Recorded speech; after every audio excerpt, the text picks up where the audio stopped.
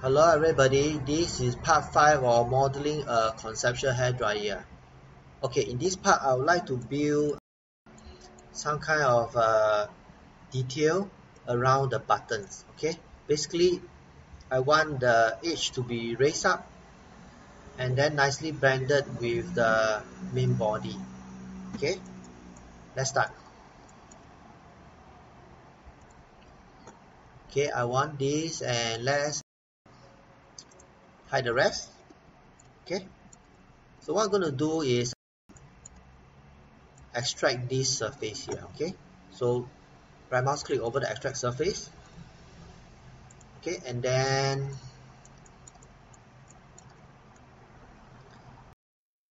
join this okay?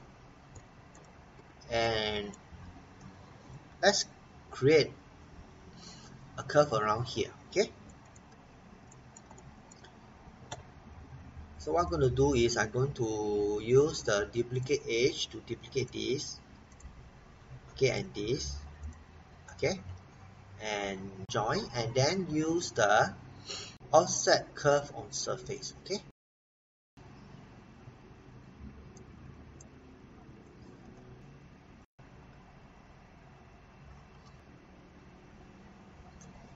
Offset uh, distance away from this curve okay? And let's have the offset distance to 3 okay? So we got something like that. And we do the same for the other side okay?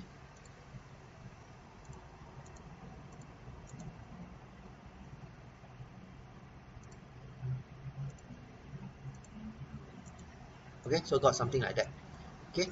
And now what we're going to do is cut a gap around here okay? Let's try using the trim okay? So cutting object is uh, this. Object to trim is this okay? So we got like the gap around okay? And then what I'm going to do is create a cross section over here that will define our detail okay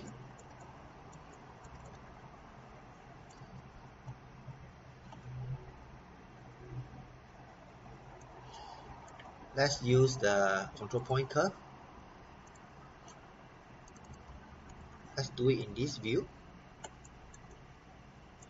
Make sure that you have enough control points to begin with. Okay so that we are able to get our required uh, shape. Okay? So got something like that. And then what I need to do is to match this to that okay? Let me just do a bit of fine adjustment here first. Okay? Use the match curve. Match this to this edge here and set it to curvature. I want a curvature match. And I need to preserve the other side as well. Okay so clear okay. And need to do a bit of fine adjustment. So I can type end bulge okay? And adjust this okay?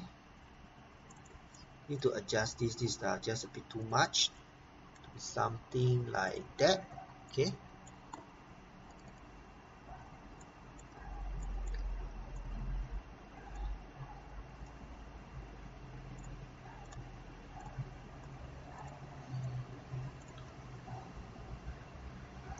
okay something like that okay?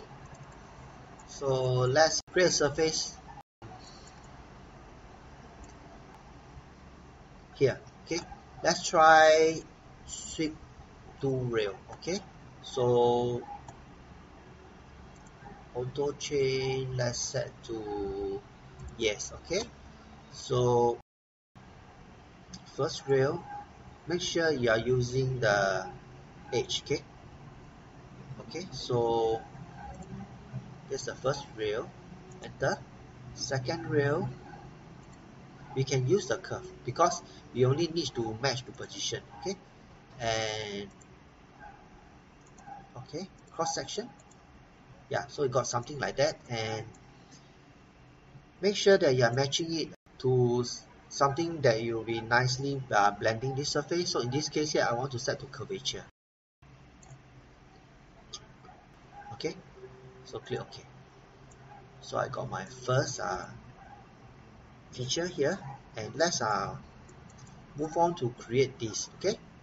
So what I'm going to do is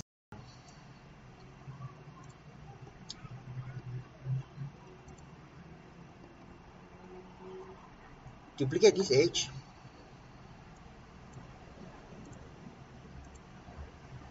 Okay this might be a bit tricky because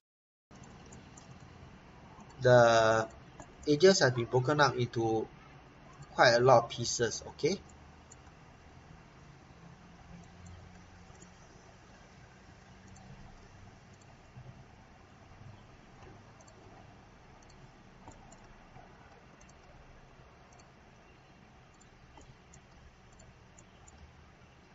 Okay? And click join.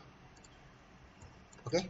And then let's try the offset curve on surface again.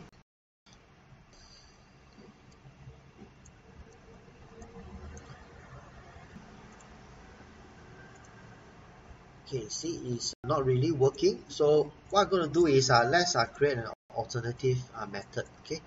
What I'm going to do is uh, let's uh, simplify this a little bit using the rebuild curve non-uniform think the maximum point count I can set higher to let's say 50 okay?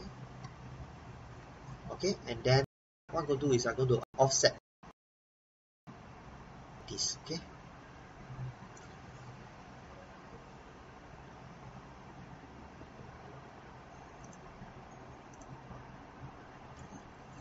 Okay the curves are not symmetrical in a, in a sense and there's a part that is uh, broken here so I don't think I can use this curve. Okay so I'm going to undo control Z okay to get back to the original one. Okay get back to this original one and uh, work with it okay? So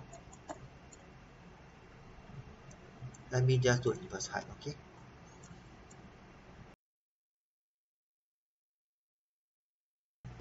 okay.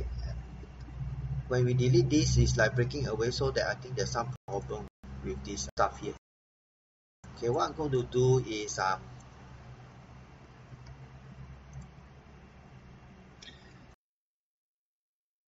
rebuild this again okay? Rebuild this thing again okay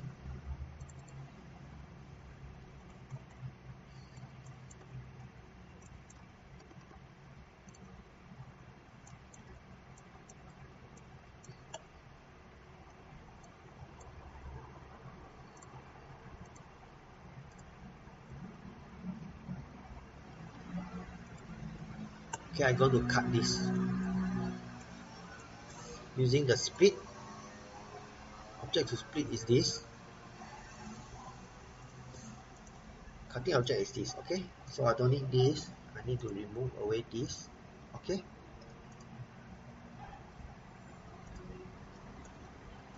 And let's review this okay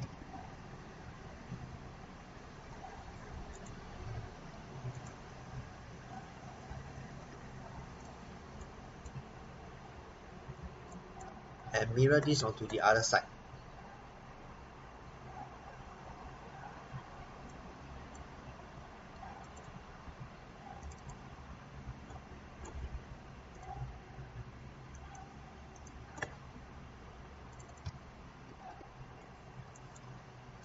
Let's join. This to this okay? And then let's remove some of the points. Okay I think there are too much points here. It's never good to have excessive points. Okay remove this. Okay.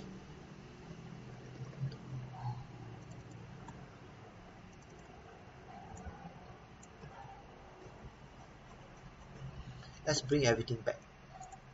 Okay. So I got this curve and then let's create an offset version of of it okay? So I'm going to type the offset. Instead of the offset surface I will just use a normal offset okay and set a distance of 3 as well. Okay so I got this curve here. And let's hope that this curve will work okay? Let's manually rotate this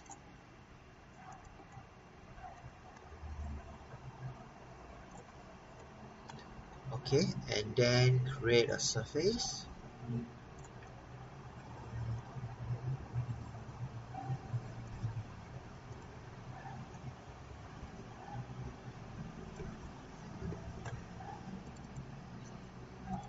And use this surface for our trimming work okay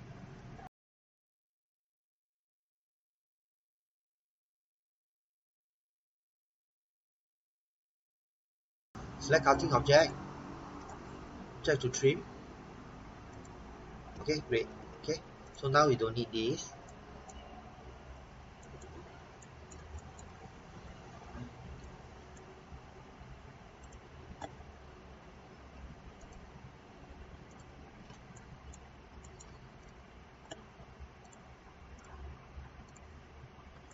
Okay now I need to create this detail again. Okay and I need to create this section here okay?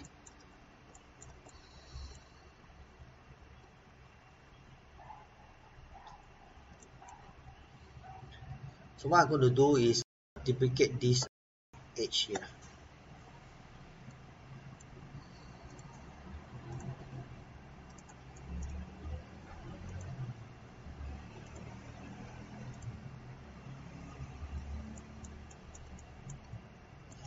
that we will not get any more problem. Okay click join. Okay and then uh, let's start to draw the curve. So making sure I'm snapping to the end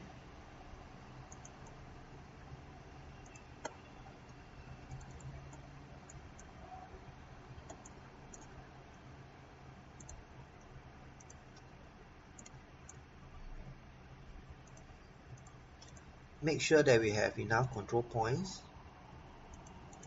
Okay something like that. And let's um match this again.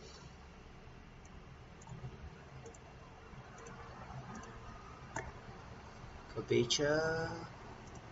Okay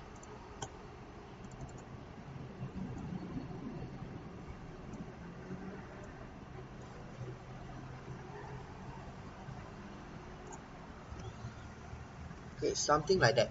Okay?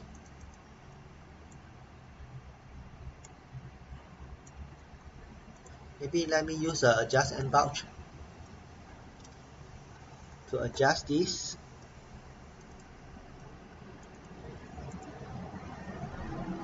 Okay? Now let's see whether this will work or not.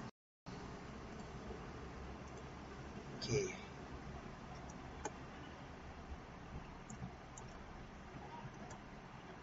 let's mirror this onto the other side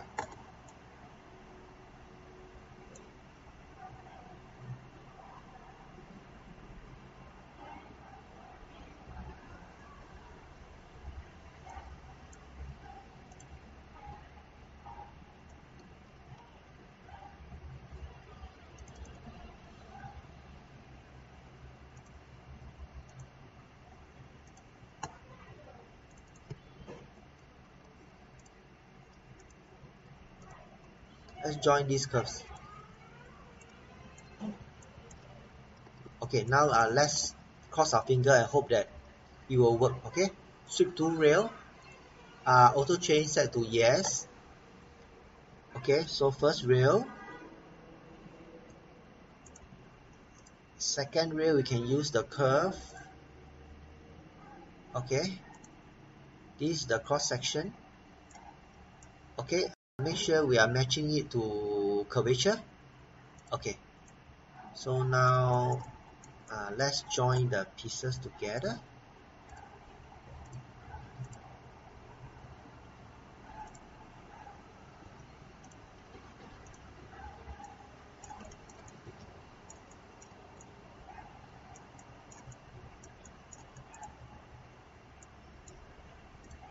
Okay. Now let's analyze the surface.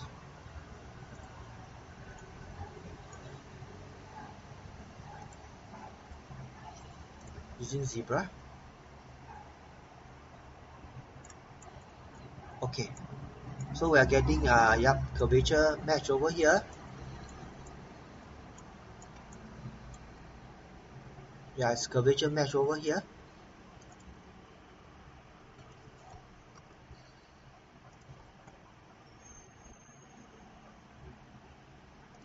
yeah you can see yeah. So those are curvature match. Okay. So seems quite okay to me. Okay let's bring all the features back.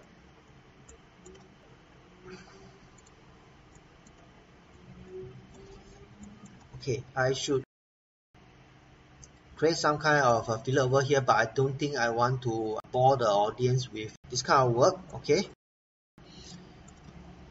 so yeah almost done.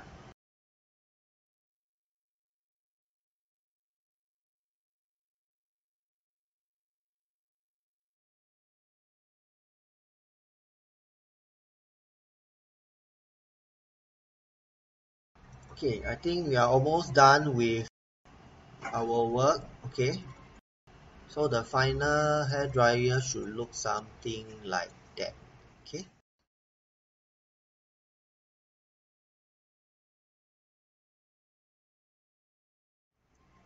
and with that I come to the end of this video.